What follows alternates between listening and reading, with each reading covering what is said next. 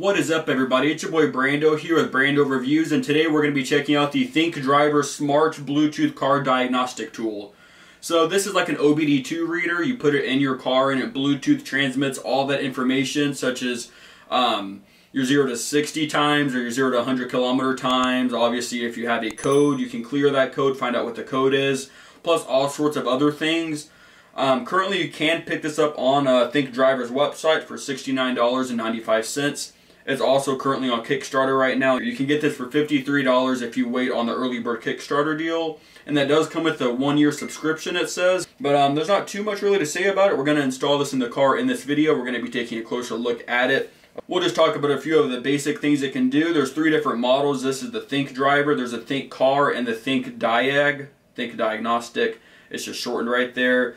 The uh, Think Driver it can do OBD2 uh, diagnostics, clear codes, full system diagnostic, full system read clear code, real-time data stream, full system diagnostic report, 0 to 60 acceleration time, and it's compatible with all vehicles after 1996 as per the OBD2 uh, rating on it. So it can diagnose a lot of things. We're not going to really talk about it all because I'm sure a lot of you have used OBD2 readers before where you just plug it in. And this is the wireless variation, so we're going to go ahead and check it out now.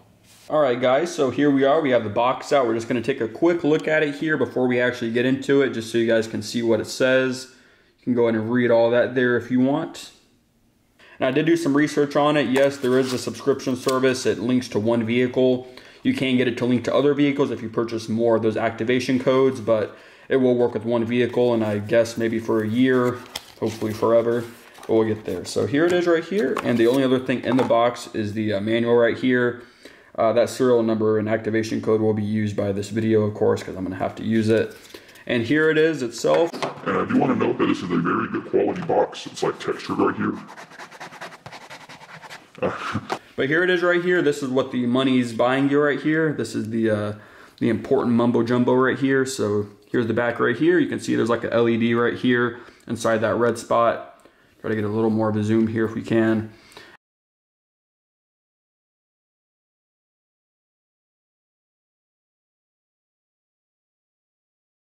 And you can see the model TKR01 Think Driver. There's the LED, and you can see it's a very nice looking color here. Um, I have an OBD2 extender on my car, so I can actually move it further away from just underneath my car where the OBD2 reader is. So I'm going to use that so I can put this in a nice spot because I got other OBD2 accessories in my car I switch out often. So there it is. You can see the connections right there. It'll work on any OBD2 reader, not OBD1. Um, this is standard on over 105 different vehicle manufacturers, so this should work in your car. If it doesn't, then you got a very odd car. So yeah, as you can see, it looks very good. It feels pretty well, um, has a nice design to it, very stylish. That's your thing with OBD2 Bluetooth car readers. But yeah, there's really not much else to show in regard to the physical device. So what we're gonna do now is we're gonna head over to the car, check out the app, and check out the functionality. Alright guys, so now you're going to download the app. It's called Think Driver. It's a very simple named app. It's named after the device. You're just going to find that in the App Store. Once you have that app downloaded, you're going to make an account. You're going to be create a username and password, and it will send you an activation code in your email. It was in my junk folder, so be sure to look there for it. And then once you go there, you're going to press activate right here. Once you press activate, you're going to enter the device's serial number and activation code, which are on the user manual as we saw before and we're going to press activate and we're going to let it use my location, I guess. Hope for the best. And it says, congratulations, the device has been activated successfully. This is the message tab. I guess you can communicate with other people here. This is just the uh, information, your points, devices, reports, all that stuff. Communication area here, like a little social media kind of thing where you can like, comment, forward, and share things with other users of this device, share reports, share information about your vehicles. And this is the big boy tab right here, which we'll be looking at further in the car. So let's head on out there, plug her in and take a look. All right, guys, so we're out at the car right now, and most OBD2 reader ports are underneath the driver's side steering wheel right here. Obviously, it varies from car to car, but in my case, and in most of your cases, it's gonna be right underneath here where your accelerator, brake, and uh, your footrest are. So I'm going to be using this six foot extender here because I have it located in another spot. But for the sake of the video here, I'm just going to plug it in just like so. And it clips in place and it just sort of stays there. But I'm going to move it out of the way with my long wire there. but it's very simple. You just plug it in and we're gonna go to the phone now and connect it via Bluetooth and take a look at all the goodies it has. All right guys, so I have it plugged in right here in my extender, but we did show you how to do it down below, obviously. So you just connect it just like so, press it in, and the red indicator light comes on on it right there, which is showing you that it's getting power. And we're just gonna move to the app now. Um, and we're gonna go ahead and connect it via the app so we can actually see everything. You see it says Bluetooth connection, checking firmware version, and now it says connected at the top right right there. We can confirm that by going to our Bluetooth right here and you can see it says connected and you can't really press the I next to it to disconnect, it just auto connects. We're just gonna go back to the app right now and you can see all of your information here. So now we're going to uh, press off system diagnostic and we're gonna go through all of these different functions on this page here. So first you're gonna press off system diagnostic if you want to and it's going to load. Once it's loading, you'll get a little lottery sort of uh, casino uh, slot machine deal where it finds your uh, VIN and your make, model, year. It says Chrysler, mine's a Dodge, but close enough, close enough. And now we have information or access to all of this information here. We can do a health report, a system scan, and we can select individual system components to watch over in live data streams, as well as clear codes from here as well. Um, regarding certain items. So we'll go ahead and do a health report first here at the top. Please turn the ignition key to the on position. So the vehicle is on right now. 6%, 12%. So here it is right here. We're going to go and press fault report right here. So it'll show what the problems are and what's normal down here. All that stuff's good. It says there's a problem with these items. Uh, panel cluster, don't really know what it means. This might have something to do with my Tazer, how it uh, reconfigured some of the information on the car. So uh, I'm not concerned about that. The tire pressure monitoring system works great. All four are reading correctly. Uh, the HVAC, I do have a travel range too small, recirculation door control circuit. Uh, that probably has to do with the actuator that I unplugged from my car because it kept messing up. Um, that doesn't bother me. The radio is a uh, up radio. I installed it from a Hellcat. This is a, a uh, 3.6 liter, so that might be why that's there. Driver's door module. System voltage signal below allowable range. Not really sure what that's about. And uh, lost communication with the radio. The radio works fine. Okay, and then you can press reports down here and see more. So we're going to go back now. Back again and we're going to try the system scan and see if this is any different information here.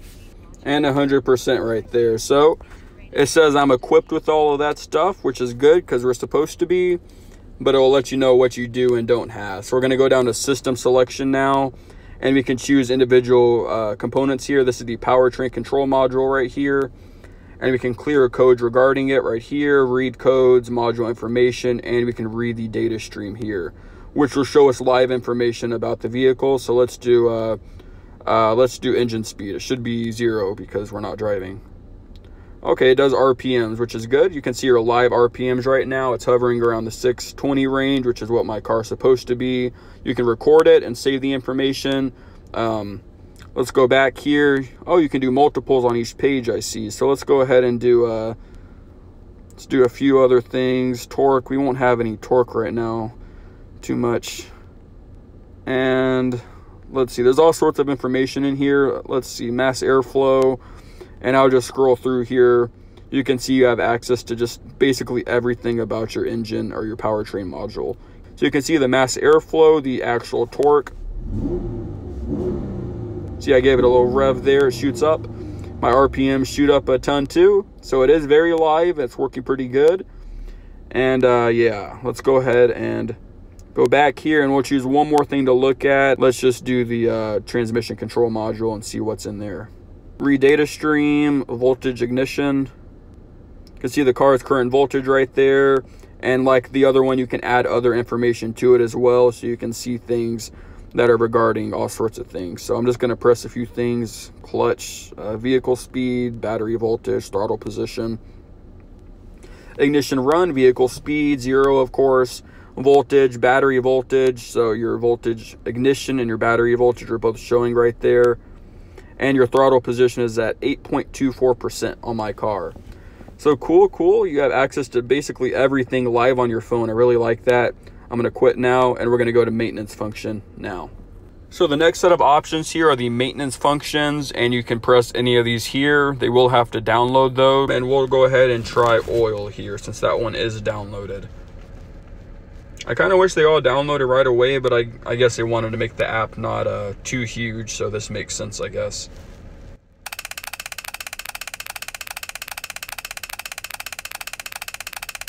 Switch on ignition. Well, the car's turned on, so, I mean, auto reset, automatic scan. See what it does. Reset enhanced version information, automatic oil change indicator. Okay, you can already do that in the car though, but I guess that's, you can go in here and change a lot of different information if you want to and or look at it. So we're, now we're gonna go to OBD functions here, which is the third one down. And we're gonna see what's in here. It says uh, data stream supported, ignition. Not too sure what all of this is, but it's there for you to look at. There's just the uh, for CAN bus. That's just the uh, software type. And really quick, yes. And then here we have flashlight. It just turns on and off your phone's flashlight. That's it. And then we got the timer down here at the bottom, which does the 0 to 60 timer or the uh, 120 mile an hour. If you're trying to do 0 to 120, uh, maybe whiling if you'd be using that. So yeah, you got a lot of stuff in here. So that basically covers all of the basic stuff here. So now let's go ahead and move on. All right, guys, so that was just a quick look at the Think driver right here. So it seems like a really cool product. We saw it in the car. It works really well. Um, some of the things that I think could improve on, I know that this isn't really completely fully out yet, but I'd say the speed of which it diagnoses things. Um, I understand there might be a limitation to that with what the vehicle can do and how fast it can give the information out, as well as the Bluetooth connection. Um, might be a little slower than just an automatic connection through the cable. But overall, I think this is a great unit. I think this is leagues better than that micro mechanic thing you see around at like Walgreens and CVS's. I think it really gives you a good access to a ton of information. You can see the live data streams. You can uh, diagnose system information, clear codes, and uh, the 0 to 60 timer is kind of nice too, I guess. My car already has that built in, but it's nice that it has that for uh, for you guys out there. Plus it has the app with ha which has all of those connection features too. You can share information with other people, so it's like a social media sort of thing too.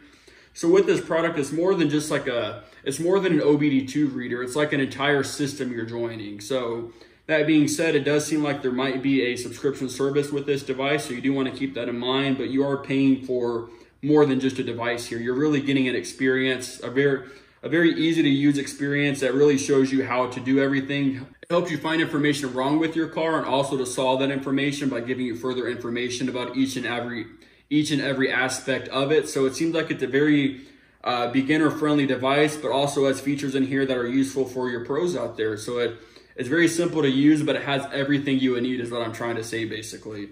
So uh, it really does compete with some of the more expensive ones out there, not the crazy most expensive ones. Um, I have some OBD2 readers that have very similar uh, items to this, but they are multi-hundred dollar units.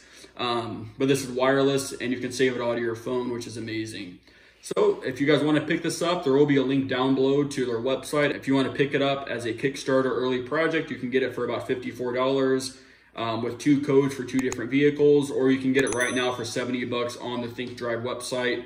So uh, you do have a few options. And then there's also some other deals on the Kickstarter too. Like if you buy more 60 $70, you get more units, etc., etc. So you guys can check that out down below. If you guys enjoyed this video, be sure to leave a like down below. Subscribe if you really enjoyed it. If you got any questions or comments, leave them down below and I'll get right back to you. So you guys have a good one. Thanks for watching.